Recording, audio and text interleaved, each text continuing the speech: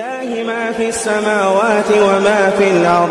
وإن تبدوا ما في أنفسكم أو تخفوه أو تخفوه يحاسبكم به الله.